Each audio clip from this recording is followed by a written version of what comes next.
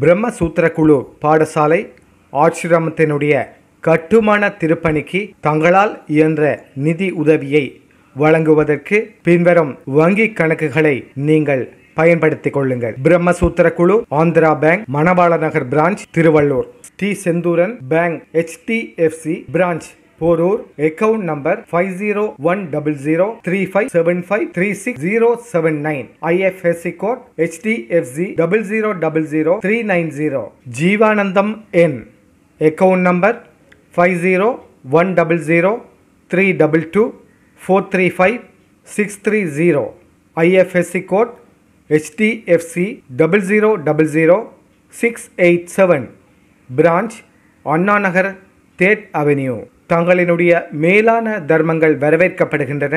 மேலும் விவரங்கள் தேவைப்பட்டால் பின்வரும் தொலைபேசி எண்ணிற்கு அழைக்கவும். Senthuran nine seven eight nine zero one four five four seven. நன்றி ஆத்ம வணக்கம் நீங்க சித்தர் இல்லைங்கிறீங்க முனிவர் இல்லைங்கிறீங்க.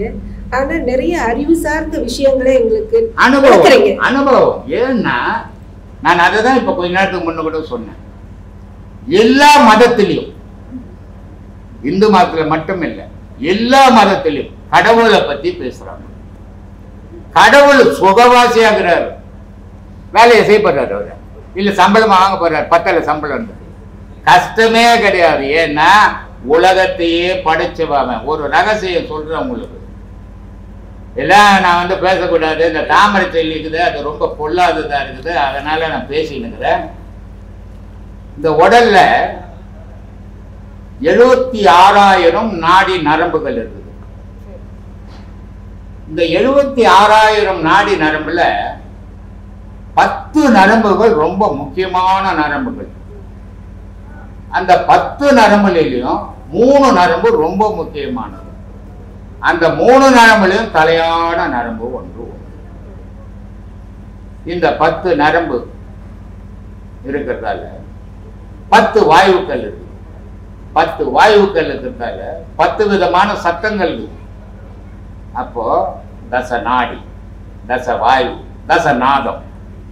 இல்லையா? இப்படி மூணுமா இருந்து தான் இந்த உடல் ஒரு கட்டுக்கு ஏங்கி கட்டி வச்சுக்குது ஆனா இந்த கட்டுக்குள்ள இடைநிலை பெண்களை என்றதை எல்லாராலையும் உணர முடியும்.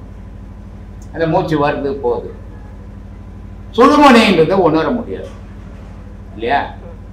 நான் ஏற்கனவே கூட ஒரு வீடியோவில் சொன்னேன். பரதோஷம் பரதோஷம் இன்னைக்கு இன்னைக்கு சிவன் கோயிலெல்லாம் ரொம்ப பிரபலியமாக இருக்குது. இருந்துட்டு போட்டோம். ஜனங்களுக்கு நம்பிக்கை அது ஆனால் பிரதோஷம்ன்றது பதினஞ்சு நாளைக்கு ஒரு முறை வருது. இல்லையா? ஆனால் பிரதோஷம் பதினஞ்சு நாளைக்கு ஒரு தடவை மனுஷனுக்கு வந்ததுன்னா பொச்சிட்டு காரியமே பண்ணிடுவோம். ஏன்னா இடைகளை பிங்களை தான் மாட்டினுடைய கொம்பு. ம், சுழுமுனை தான் கடவுள். இந்த ரெண்டு கொம்புக்கும் நடுவுல இறைவன் நடனம் ஆடுறான். அதான் ம், இதான் பரதோஷம் இதை உணர்ந்தால் தெரியும். உணராம போய் அடையாள பொருளையே பார்த்தானே தெரிய போறது அப்போ இந்த மூணு நாடியில முக்கிய நாடி சுழுமுனை தண்டு வடக்குல ஓடுது. இந்த தாமரை தண்டு இவ்வளவு கனம் இருக்கும். முள்ளு முள்ளா இருக்கும் சுத்தி. அதை எடுத்துட்டு பல்குன்னு உடைச்சிங்கன்னா அதுல இருந்து ஒரு நூல் வரும். இல்லையா? அந்த நூல் அளவு நம்ம முதுகு தண்டு வழி உச்சியிலிருந்து மூலாதாரம் வரைக்கும் ரெண்டு புட்டத்துக்கு நடுவுல கீழே வரைக்கும் அந்த தண்டு போகுது. ம், அந்த தண்டினுடைய வடம் ஓப்பனா இருந்ததுன்னா இவனுடைய மூச்சாகப்பட்டது சர்றன்னு அங்க போகும். ஆனால் கரிய துண்ணு மீனை துண்ணு கண்டதை துண்ணு கொழுப்பு போய் அந்த சந்து அடைச்சிருச்சு. ம். அடைச்சதால இவனுக்கு உலக விஷயம் மட்டும் தெரிஞ்சதை தவிர கடவுள் விஷயம் தெரியல அப்ப இங்க வந்த உடனே நம்ம என்ன சொல்லி தருவோம்? இந்த அடப்பை எடுக்கிறதுக்கு வழி சொல்லி தருவோம். இப்ப நம்ம கை இருக்குது. இப்படி வச்சுக்கிறோம். ஒண்ணும் இல்லை சூடு இல்லை. சாதாரண ஆனா ரெண்டு கையும் உறைஞ்ச சூடு ஏறும். அது மாதிரி இந்த இடைகளை பெண்களையினுடைய சுழுமுன் என்ற மூச்சு ஒன்னோட ஒண்ணு உராயும் போது அந்த முதுகு தண்டுல சூடேறி அந்த கொழுப்பு கரைஞ்சி வெளிவந்துடும் இது சயின்ஸ் ஆன்மீகமும் சயின்ஸ் தான். ரெண்டுக்கும் எந்த வித்தியாசமும் கிடையாது. அதனால தான் நான் ரொம்ப அழகா சொல்லியிருப்பேன் ஒரு விஷயத்தை. சயின்ஸ் விஞ்ஞானி அவன் என்ன பண்றான்? ஞானி என்ன பண்றான்? சயின்ஸ் விஞ்ஞானி உலகத்தை படைப்ப தேடி நிற்கிறான். இதை யார் படிச்சது எப்படி படிச்சது எப்ப படிச்சது எந்த காலத்துல வந்ததுன்னு அதை தேடுறான். ஞானி என்ன பண்றான்? படைச்சவனை தேடிங்கிறான். படைச்ச பொருளை விஞ்ஞானி தேடுறான். ஞானி என்ன பண்றான்? படைச்சவனையே தேடுறான். இந்த பிள்ளையார் கதை. முருகர் போய் உலகம் ஃபுல்லாக சுத்திட்டு மாம்பழம் எல்லாத்தையும் ஏமாந்து பயணி கோச்சின்னு போட்டார். அது மாதிரி பிள்ளையார் போய் உள்ளார் சுத்தி போட்டு வரல அந்த மாதிரி கதை ஞானி கதை. அஞ்ஞானி கதை அந்த மய முருகன் சுத்தின கதையா போச்சு. அதனால இந்த எழுபத்தி ரெண்டு நாடி நரம்புலையும் மூணு நாடி முக்கிய நாடி அந்த முக்கிய நாடியில தலையாய நாடி ஒண்ணு. இந்த தச வாயுக்கள் ஏங்கலைன்னு சொன்னா தும்புல் வராது. இந்த தச வாயுக்கள் ஏங்கலைன்னா மலம் போகாது. தசவாயுக்கள் இயங்கலைன்னா சளி வராது. தசவாயுக்கள் இயங்கலைன்னா இந்த ஆகாரம் ஜீரணமாகாது. இப்படி தசவாயுக்களும் தச நாகமாகவும் இருந்து நம்ம உடலை இயக்குது. இது ஒரு கட்டுக்குள்ள இருக்கிற படம் இது ஞானிகள் சொன்னான் அப்பா இது என்ன உடலுப்பா இது? அன்னமய கோஷம். சாப்பாடுன்னு ஒன்று இல்லைன்னா எந்த கடவுளாலையும் இவனை காப்பாற்ற முடியாது. அப்போ மனிதனை காப்பாற்றி நிற்கிறது எதிரான சாப்பாடு? அதான்டா கடவுள்னா. அதனால சொன்னான் காயமே இது பொய்யடா சிவ காற்றடித்த பையடா. மாயனாராம் குயவம் செய்த மண்ணு பாண்டு ஓடடா இது. இல்லையா? ஒரு மாடு செத்து போனா தோல் எடுத்து மோளம் கட்டிடுவான் ஒரு நாய் செத்து போனா ஒன்று பண்ணிடுவான் நாடு செத்து போனா ஒன்று பண்ணிடுவான். எது செத்தாலும் உபயோகமாகும். ஆனா இவன் உடல் மட்டும் உபயோகமாகாது. இல்லையா? உபயோகம் ஆகாத உடலை இவன் உலகத்திலேயே அதிசய உடலா இவன் தான் நினைக்கிறான். அதுக்கு நினைக்கிறதே கிடையாது. அதனால சொல்றான் காயமே இது பொய்யடா சிவ காற்றடித்த பையடா. மாயனார குயவன் செய்த மண்ணு பாண்டம் ஓடடா. வெந்த சோத்தை நொந்த காய்கறி போட்டடைத்த பையடா. வெளுத்த நரம்பையும் உளுத்த சதியும் இழுத்து கட்டிய கூடடான் காயமே இது பொய்யடான் அதனால இந்த உடல் காயம்னா பொய்? நம்ம என்ன சொல்றோம்? மெய் வாய் கண் மூக்கு சரி அப்ப மெய்யின்னா என்ன அர்த்தம்? உண்மைன்னு அர்த்தம். இல்லையா? அப்படித்தானேம்மா? மெய்யன்னா உண்மை தானே ஆனா ஞானி என்ன சொல்றான் நம்ம உண்மைன்னு சொல்றத பொய் தாதுன்றான் ஆனா அவன் சொன்னது சரியா? நம்ம சொன்னது சரியானா அவன் சொன்னது தான் சரியா?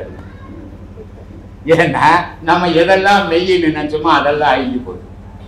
அவன் அழிஞ்சு போறதெல்லாம் அவன் பொய்ன்னு சொன்னான். அழியாத பொருள் மெய்யின்னா. அதனால சொன்னான் அருட்பெரும் ஜோதி தனிப்பெரும் கருணை. அது அழிவு இல்லைடா. அப்படின்னு சொல்லுகிறான் இப்போ நீங்கள் அறிவு மட்டும் இல்லை ஞானத்தை பற்றி நிறைய சொல்லி தரீங்க. அதெல்லாம் ஞானின்னு சொல்லாங்களா? நான் நான் அதெல்லாம் அந்த பேரே எனக்கு வேணாமா? ஏன் சொல்கிறேன்னா கடவுள் வழி. கடவுள் இது. இந்த கடவுள் வழிக்கும் கடவுளுக்கும் இடையில நம்ம எப்படி வாழணும் அப்படின்னே தெரியாதவன் காசே குறிக்கோளாக வச்சுக்கின்னு கழுத்தில் ஒரு பத்தாயிரம் ரூபாய் உத்திராட்சம் போடுவோம் வேணாம் ஒரு பத்தாயிரம் ரூபாய் உத்திராட்சம் என்ன பண்ண போகுது அது? அது வந்து கடவுள் வந்து அந்த உத்திராட்சத்தை என்னப்பா நீ இவ்வளவு உத்திராட்சம் பண்ணி நீ தான் முதல்ல வா நான் லைன்ல போட்டு போறான் டோக்கனா? சொல்லு. ஆனா பட்டப்பாட்டியா உடம்பெல்லாம் பூச்சிக்கிறான் நெத்தியில நீர் இடணும் அது நிஜம். ஆனா உடம்பெல்லாம் எதுக்கு பூச்சிக்கிறான்னு எனக்கு தெரியாதும்மா. பூச்சிக்கிறான் ஆனா கடவுளை பத்தி தெரியும். கடவுளை பத்தி உணர்ந்தவனுக்கு வந்து எந்த விதமான ஆடம்பரத்துக்கு அவன் அடிமையாகவே மாட்டான். கடவுளை உணராதவன் ஆயிரம் விஷயத்துல அடிமையாயிடுவான். எல்லா புகழுக்கும் ஆசைப்படுவான். கடவுளை கண்டவனுக்கும் கடவுளை அனுபவிச்சவனுக்கும் எந்த ஆடம்பரத்துக்கும் அடிமையாக மாட்டான். அவன் அவனா நான் நானா. அப்ப நீங்க நீங்களா இருக்கீங்கன்னு சொல்றீங்க. இருக்கணும் நினைக்கிறேன். கடைசி வரைக்கும் என்ன கூட வதனி கேட்டாங்க. சாமி ஏழு கோடி பேர் உங்களை கடவுளாக கும்பிட்டுன்னுக்குறாங்க. உங்களுக்கு அந்த புகழை பத்தி மனசுல எதுவும் மாறலையான்னு என்னை புகழுறாங்கன்னு நான் நினச்சதான் அது எந்த என் மனசுல போகிறோம் நான் சொல்ல வேண்டியது என் கடமையை சொல்லின்னுக்கிறேன். அவன் புகழ்ந்தா எனக்கு என்ன? புகழ்னா எனக்கு என்ன? அப்படி நினைக்கும் போது அந்த புகழில் நான் மாட்டிக்கல. ஏன்னா போதை இருக்குது தெரியுமா? அது மதுவுல மட்டும் இல்லை போதை மங்கையில் இருக்குது. போதை மதுவில் இருக்குது. போதை புகழில் இருக்குது. போதை பணத்தில் இருக்குது இது எல்லாம் ஒரு விதமான போதைகள். இந்த போதைகள் தலைக்கு ஏறி போச்சுன்னா அவன் மனுஷனாவே வாழ முடியாது. இல்லையா? ஆனால் இந்த போதைகள் எது இருந்தாலும் வெளியவே விட்டுட்டான்னா அவன் மனுஷனாக வாழ்வான். நான் எந்த போதைக்கும் அடிமையாகிறேன் அவன் ஒருத்தனுக்கு தான் அடிமை நான்